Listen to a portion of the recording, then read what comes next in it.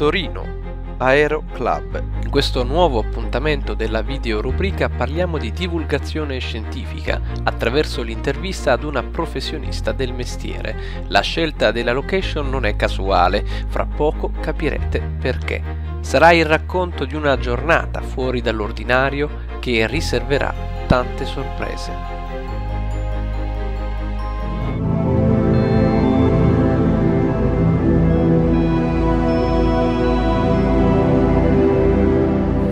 Allora, siamo qui con la dottoressa Silvia Rosa Brusin, è una giornalista che poco ha bisogno di presentazioni, è la madre del TGR Leonardo, quello che va in onda su Rai 3, e eh, come dire, l'unico appuntamento fisso della, uh, della televisione realmente che parla di scienza, che lo fa anche in un modo molto, uh, come dire, molto certosino.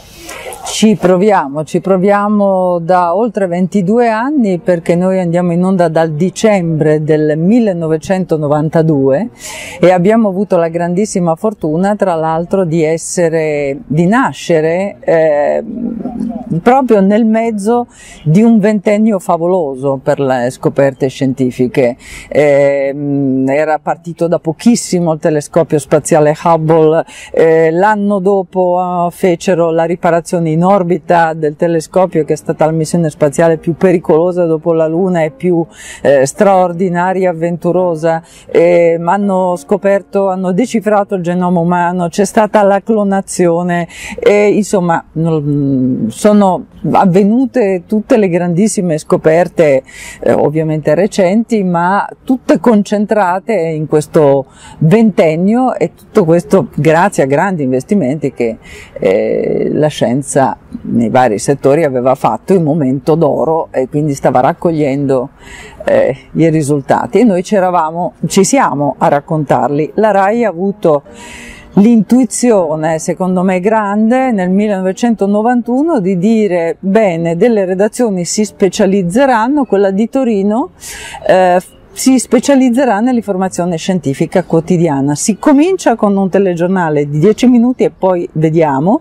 Siamo rimasti al telegiornale di 10 minuti, però non, non ci siamo mai fermati. Ma, ma buoni, eh. Ma buoni e con molto ascolto, perché dobbiamo, io devo veramente ringraziare i telespettatori perché abbiamo una media altissima, adesso dipende ovviamente dai giorni, però insomma il milione di telespettatori per noi è normale tutti i giorni giorni e siamo in pochissimi. E mi permetto anche di dire un po' una, una cosa da, da, da pubblico, ecco. mm.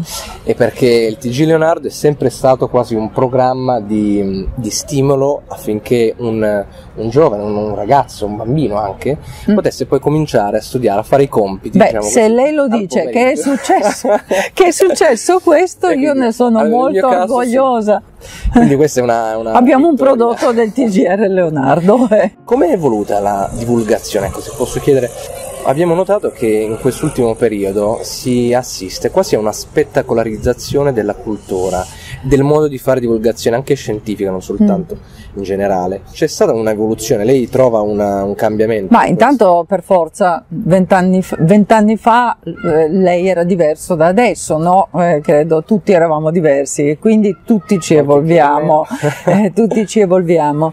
Eh, quando noi incominciamo ehm, il telegiornale, come dico, nel 92 le notizie scientifiche avevano pochissimo spazio all'interno dell'informazione quotidiana, diciamo dei telegiornali, ed era questa la sfida, cioè prendere eh, l'aspetto scientifico delle, delle, delle, vicende di cui si parlava e spiegarlo, eh?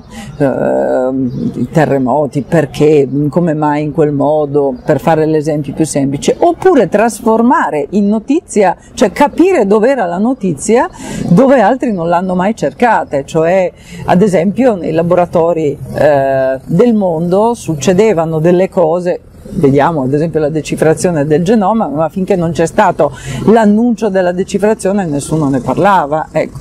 Eh, noi siamo dei giornalisti scientifici eh, per giornalista scientifico si intende una persona che trova la notizia all'interno della scienza. E direi che ci fermiamo perché adesso decolla però.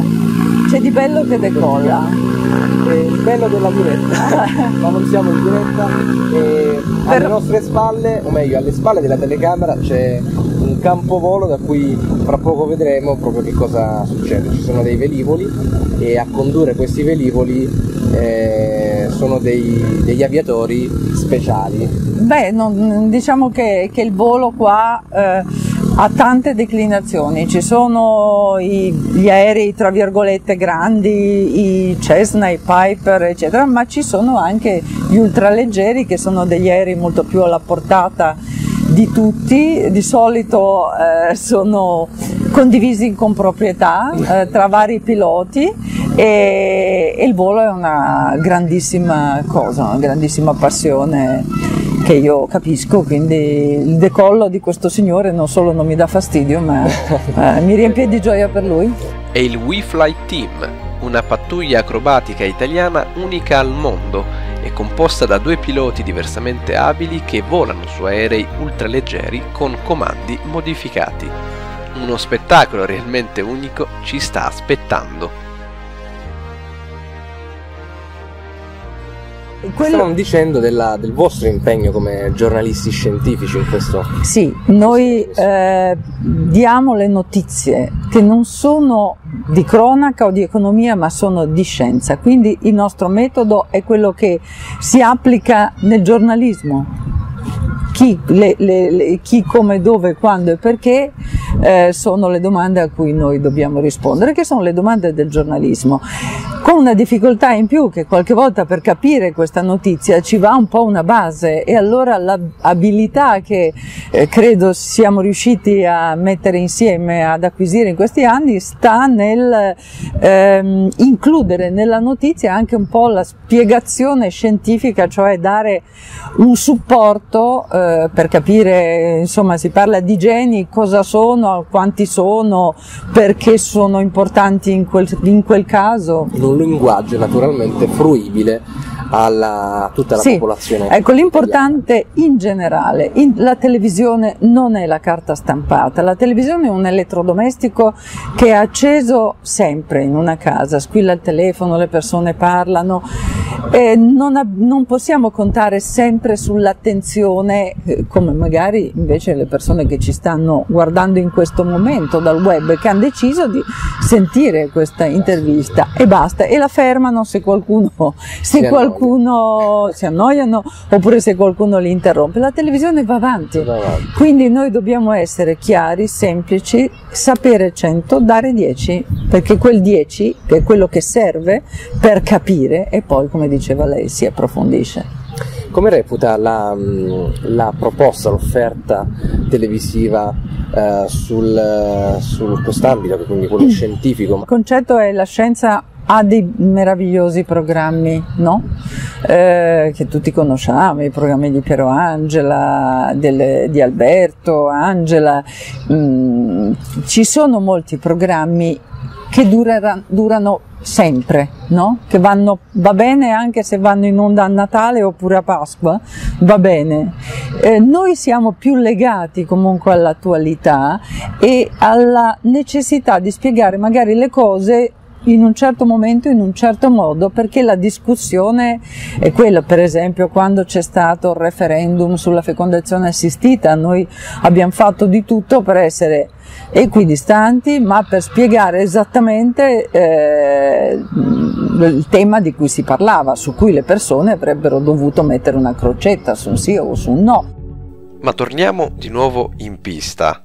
In una calda giornata di maggio, la presentazione dell'ultimo libro dell'astronauta ed aviatore italiano, il comandante Maurizio Cheli, è stata l'occasione per poter ammirare una squadra eccezionale per volontà e capacità.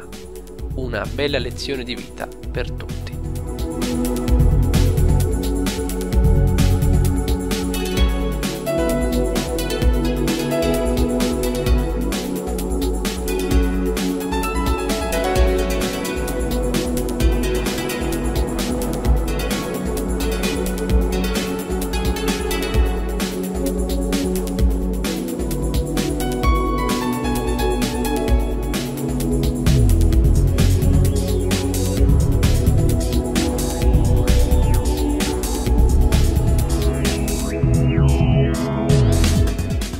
Missione Futura dell'Agenzia Spaziale Italiana, esattamente un anno fa, l'astronauta Samantha Cristoforetti ha diffuso dallo spazio un messaggio dedicato ai disabili di tutto il mondo.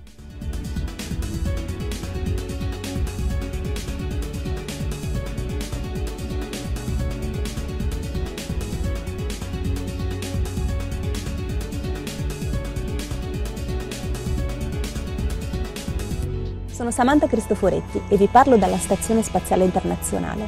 Con me nello spazio ho portato questa bandiera, un simbolo che mi permette di condividere con voi il messaggio di forza, tenacia e determinazione dei piloti del WeFly Team. Io li ho conosciuti qualche anno fa ad un raduno di donne pilota e da allora, grazie alla nostra amicizia, ho potuto apprezzarne le capacità di piloti e le doti umane.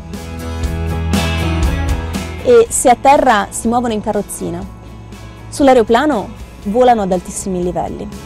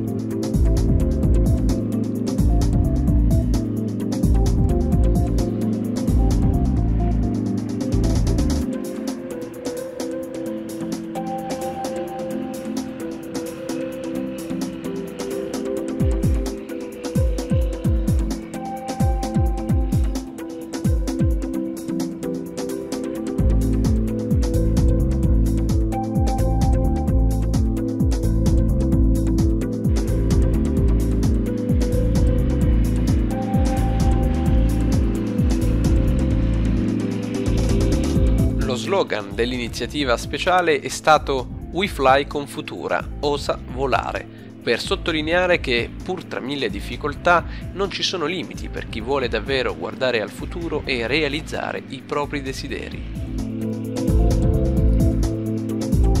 Grazie ad ESA, Asia Aeronautica Militare, abbiamo realizzato l'iniziativa congiunta We Fly con Futura, osa volare, è un'esortazione ad avere la forza e il coraggio di perseguire obiettivi alti, di mettere pienamente a frutto il proprio talento, senza farsi scoraggiare dalle difficoltà.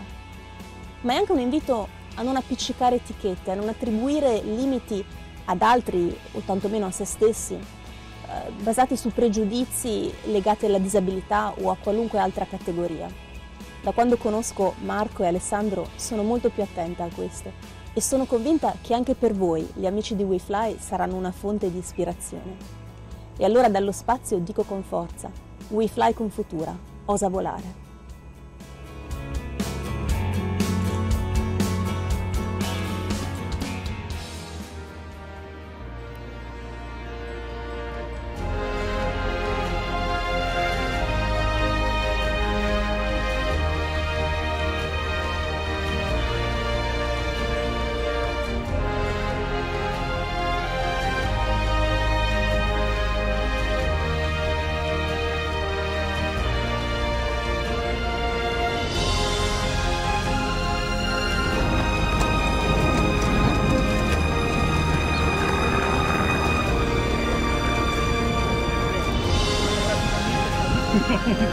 Complimenti, complimenti. Avete ben visto quello che abbiamo fatto, quindi per me è un'emozione tutte le volte, spero che anche per voi sia stata un po' un'emozione vederci e quindi se, se, se, vi siete emozionati vuol dire che quello che abbiamo fatto l'abbiamo fatto bene. E siete la promessa per questo paese. Assolutamente. Complimenti. Sì. Complimenti. Complimenti. Durante la presentazione del libro che, che, si chiama Tutto in un istante, che è la descrizione diciamo, a tappe, grandi tappe della mia vita che è stata improntata alla passione per il volo. E il, che è poi anche il cuore e lo spirito di questa giornata perché loro sono animati dalla passione per il volo. E, e quando uno ha passione nessun ostacolo eh, è invalicabile. E credo che loro siano veramente la più chiara dimostrazione di tutto questo.